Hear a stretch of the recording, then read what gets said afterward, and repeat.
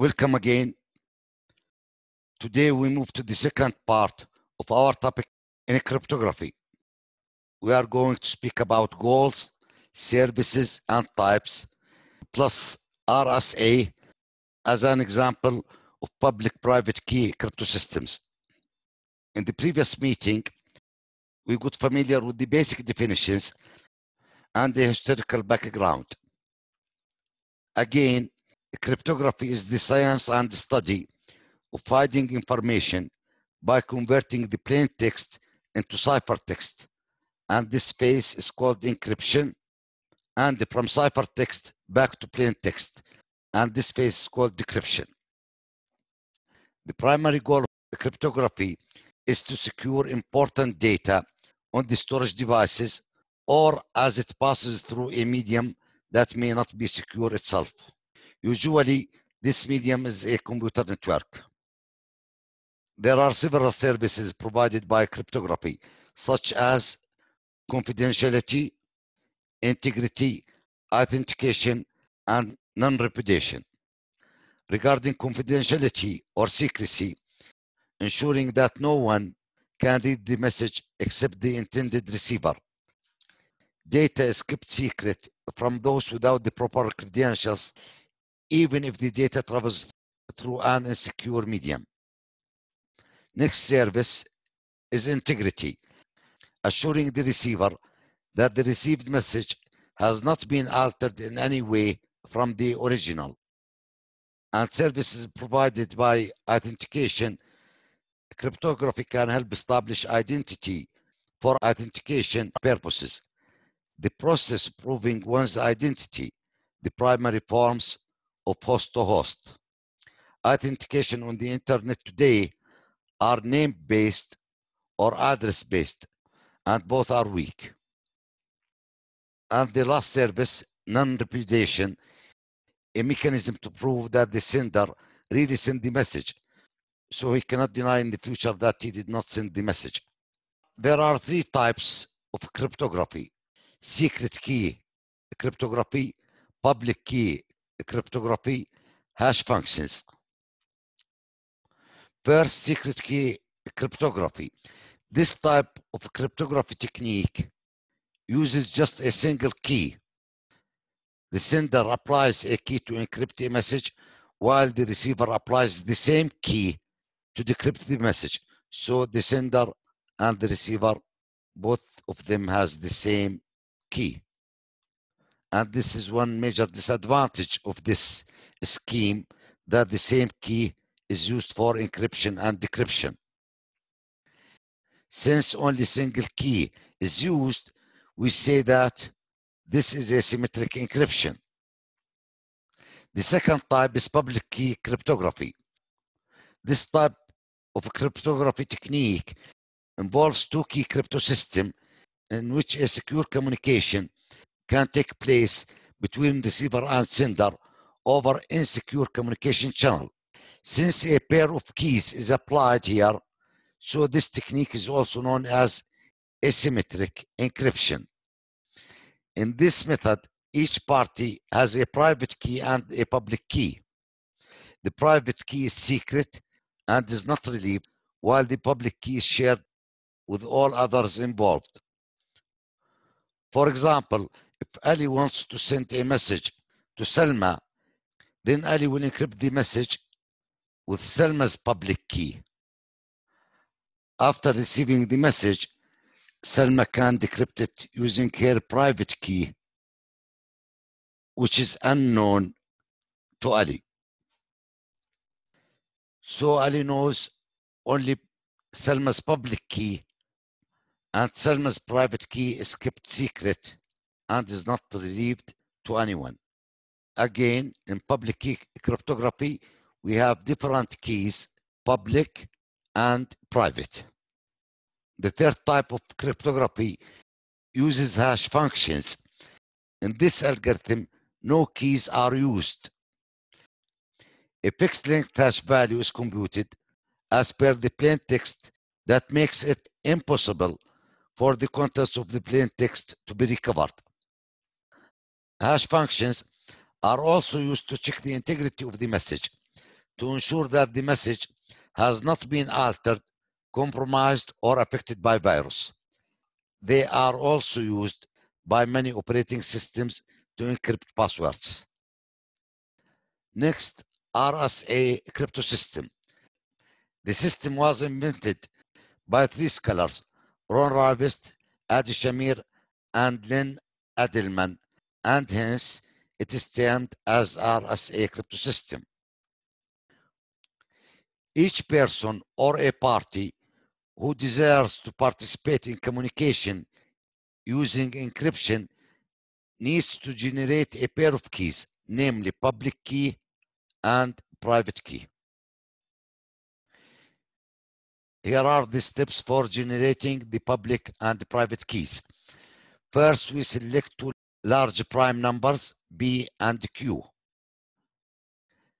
Next, we calculate N, B multiplied by Q.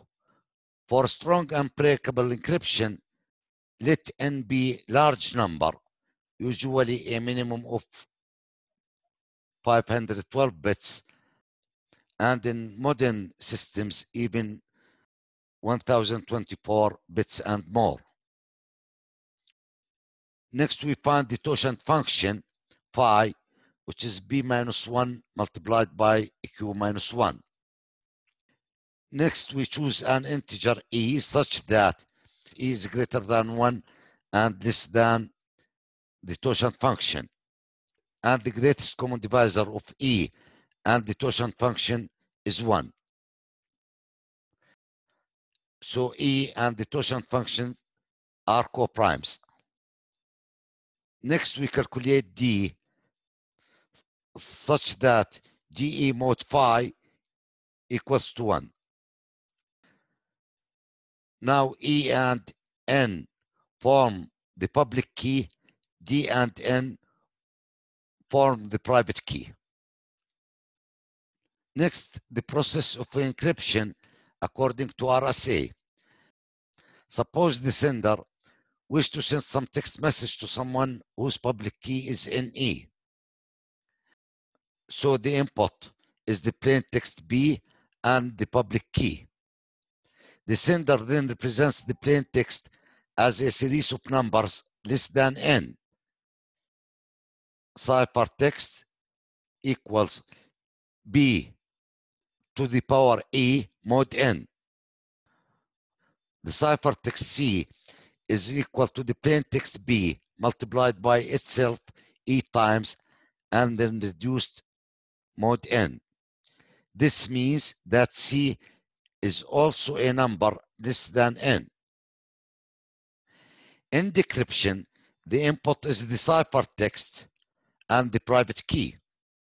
And the plain text is computed according to this formula, C ciphertext to the power D mod n.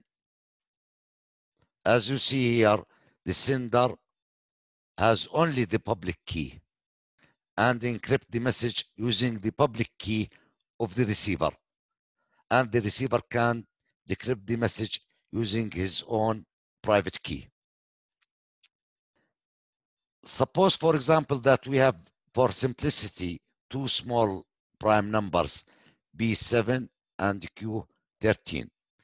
So N equals 7 by 13, 91.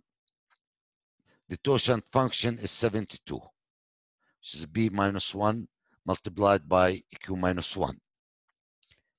We can select E, for example, 5, and this is a valid choice since there is no number that is common factor of 5 and the totient function pi, except for 1.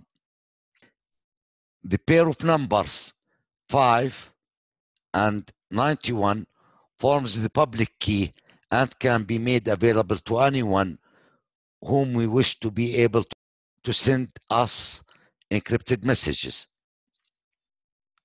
By applying B equals 7, Q13, and E5 to the extended Euclidean algorithm, the output will be D29. We can check that D was calculated correctly by computing DE mod phi which is 1. So the private key is 2991 and the public key is 591. As a receiver, I keep the private key secret and I can give the public key to anyone whom I want to communicate with. Suppose that the plain text B equals 10, we can get the cipher C as follows.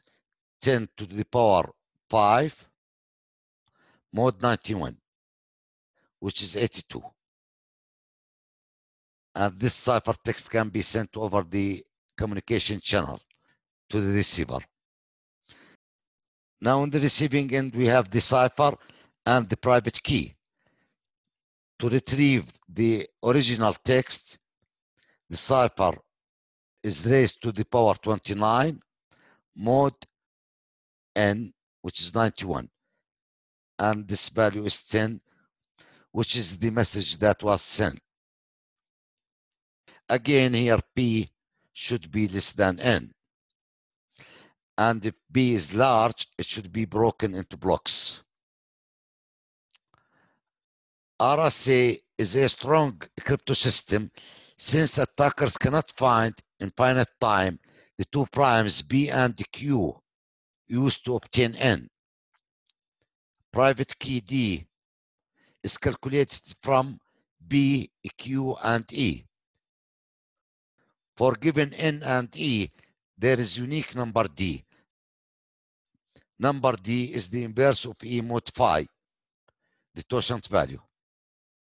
This means that D is the number less than the totient function such that when multiplied by E, it is equals to 1 mod phi. This relationship can be written as follows. The extended Euclidean algorithm takes B, Q, and E as input and gives D as output. Secret key algorithms require less computing power to be created than equivalent private keys in public key cryptography. RSA is used in many commercial applications with 1024 bits and more. There is another public private key crypto system called ElGamal which uses elliptic curve function to generate the public and private keys and I will publish one video on ElGamal crypto system. For today, that's all. Thank you.